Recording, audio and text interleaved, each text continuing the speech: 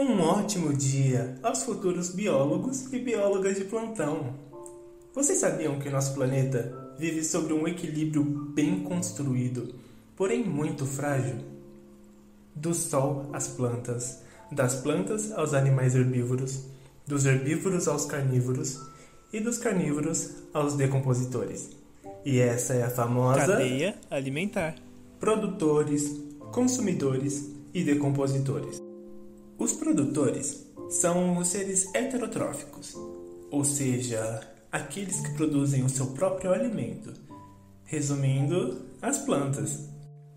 Os consumidores são divididos em consumidores primários, que são os herbívoros ou onívoros, que se alimentam dos produtores, e em seguida vêm os secundários e os terciários, que são os carnívoros.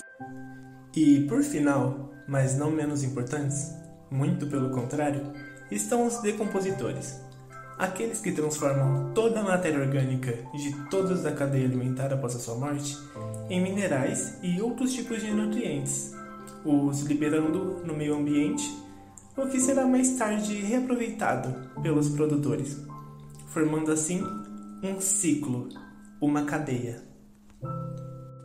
Através de muitos anos de evolução, essa cadeia se desenvolveu e, após um tempo, cada ser, tirando os produtores que produzem o seu próprio alimento, começam a depender um do outro.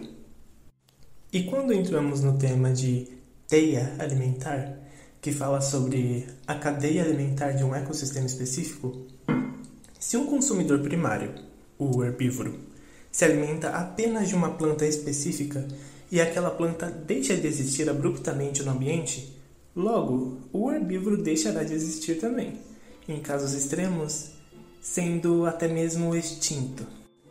Para um início no assunto extenso que é o mundo de biologia, se faz extremamente necessário entender o equilíbrio da vida, a grande ecologia, que estuda as relações entre os seres vivos e o ambiente que os rodeia. No vídeo de hoje, abordamos o conceito básico de ecologia, Caso tenha gostado do vídeo, dê seu feedback. Caso não tenha, diga também formas de melhorarmos a entrega de conteúdo. Muito obrigada e até uma próxima!